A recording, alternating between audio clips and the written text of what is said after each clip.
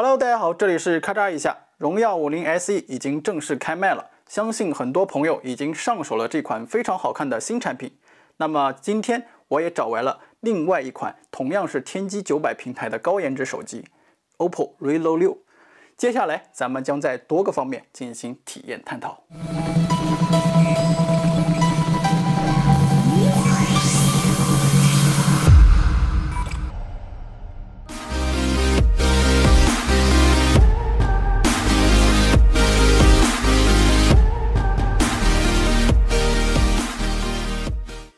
虽然都是高颜值手机，但荣耀五零 SE 与 OPPO Reno 六整体的设计风格却有非常大的区别。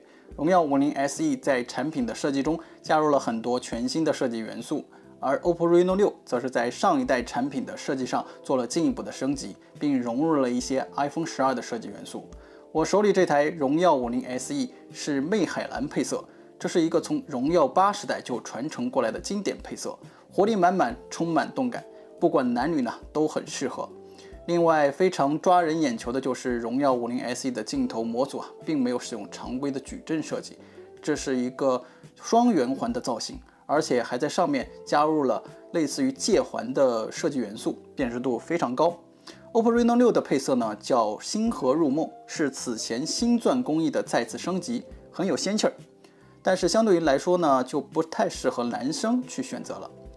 在产品重量上，两者相差不大。OPPO Reno 6大概是一百八十二克，荣耀五零 SE 呢大概就是一百九十三克。不过由于细节设计上的差异，长时间去握持的话，两款手机的手感你还是能够感觉到明显的不同。我们具体来看，荣耀五零 SE 采用的是正面直屏、背部弧面的设计，边角处与背部的过渡呢。处理的比较圆润，长时间去握持也还是比较舒适的。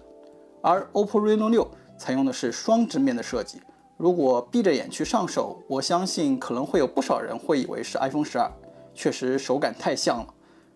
两款手机在正面的差异同样也不小，荣耀五零 SE 采用的是六点七八英寸的屏幕，屏占比是肉眼可见的高，达到了百分之九十四点三。OPPO Reno 6的屏幕呢稍小一些，为六点四三英寸。说实话，两者的屏幕大小基本处于一个水平线。但是如果你点亮屏幕的话，仍然会觉得荣耀五零 SE 的屏幕啊非常夸张。这主要是因为荣耀五零 SE 的黑边真的是非常窄，左右的黑边只有一点一毫米，再配合这么大的屏幕，感觉满眼都是屏。下面请大家观看一下两台手机播放同一视频，来感受感受。在屏幕素质上，通过视频啊，我们可以明显看出来，二者在色彩对比度方面还是有着比较明显的差异的。有的人喜欢暖屏，有的人喜欢冷屏。荣耀五零 SE 和 OPPO Reno 六呢，都有各自巨大的受众群体。当然，荣耀五零 SE 最大的优势呢，就在于屏幕的刷新率，其采用了一百二十赫兹高刷新率，屏幕采样率也达到了二百四十赫兹。OPPO Reno 六的刷新率呢，则是九十赫兹，然后一百八十赫兹的采样率。那么毫无疑问，前者在刷微博、看新闻的时候会更加流畅。OPPO Reno 6主摄为六千四百万像素，而此次荣耀五零 SE 则采用了一亿像素的主摄。不过数据归数据，具体表现我们还是要来看样张。为了保证公正，我关闭了两款手机的 AR 和 HDR，并且对焦在同一位置。放大来看建筑的边缘，荣耀五零 SE 的超高像素啊就显示出来了优势，明显比 OPPO Reno 6要更加清晰。当然，高像素的优势其实主要还是用在光线比较充足的条件下，一般普通人来说还是会用默认的情况比较多。我们继续往下看，现在呢是逆光拍摄的样张，两款手机对着微微露出的太阳拍摄，其中 OPPO Reno 6出现了较大的镜片反光光斑。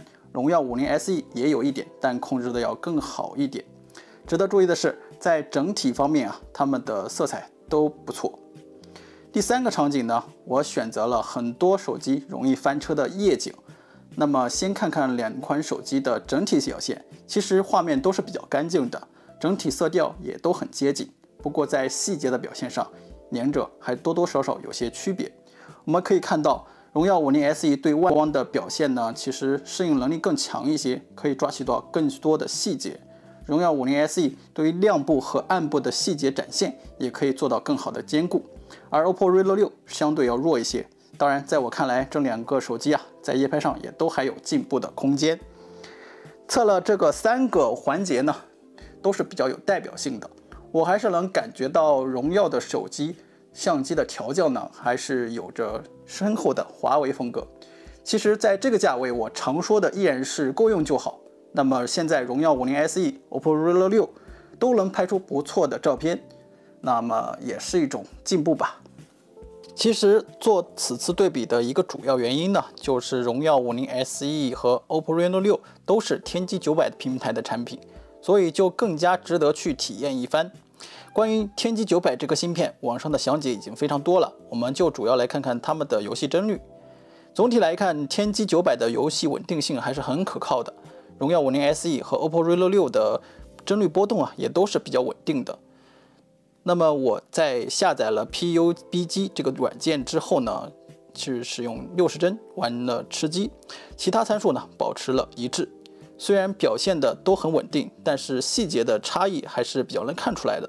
其中十五分钟的王者荣耀分别是 OPPO Reno 六平均帧率五十九点四，荣耀五零 SE 平均帧率六十点二。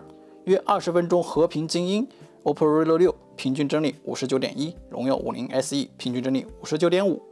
由此可见，荣耀五 SE 的性能优化显然要更胜一筹。这主要得益于荣耀的 GPU Turbo X 已经适配了天玑九百，更好的激发了芯片的潜能。当然，OPPO Reno 六也没有落下太多，总体呢表现也是不错的。荣耀五零 SE 和 OPPO Reno 六分别配备了一个六十六瓦和六十五瓦的快充插头。经过多轮的实际测试与记录，两款产品实际表现呢也相差不大。以本次为例。都能在五分钟时齐刷刷充到百分之二十三，在十五分钟内呢就能充满百分之五十，非常恰当的表明了快充的第一要义就是给手机续命。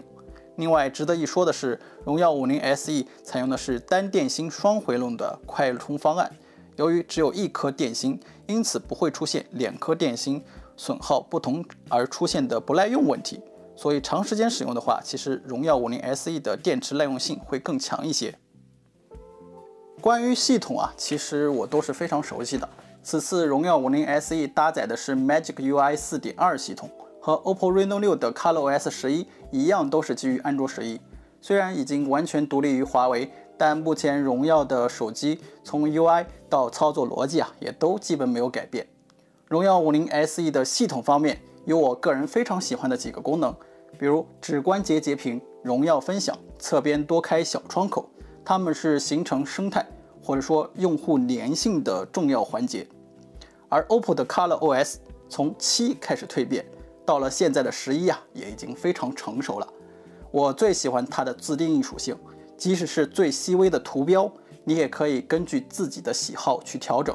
当然，有些地方我觉得 OPPO 也需要去改进一下，比如同样是侧边小窗口，OPPO 却只支持同时最多打开两个，且。个别应用呢不支持缩小与放大，也不能放置一边去待命。这一点，我觉得 OPPO 可以跟荣耀好好的学习一下。通过这两天对荣耀五零 SE 与 OPPO Reno 六的共同体验来看，我的感受可以囊括为两个字：舒适。这两款手机啊各有各的特点。当然，如果非要去拼一下同平台的性价比，那么毫无疑问是选择更便宜的，便宜四百元的荣耀五零 SE 了。OK。感谢大家观看这个视频，如果你觉得不错，欢迎三连。